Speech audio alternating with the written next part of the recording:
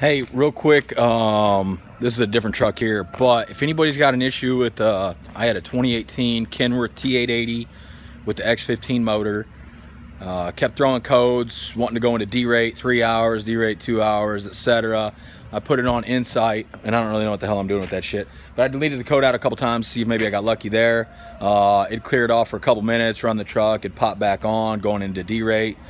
Code 3382 go to the dealership. They tried to tell me the egr is clogged. I had already pulled the plumbing apart um, by the differential pressure switch and the ports through there the plumbing area through there trying to clean that. It and had no luck and it didn't look bad. So i told them that at the dealership. Uh, i think fortunately i did because as soon as i went there they tried to tell me i need to get that egr pulled off and clean it. Um, it didn't quite make sense but I, you know i don't really know what the hell i'm doing. So come to find out, all it was was a software update. They needed to update the ECM software. Uh, problem solved. So hopefully that helps somebody, man. Hopefully.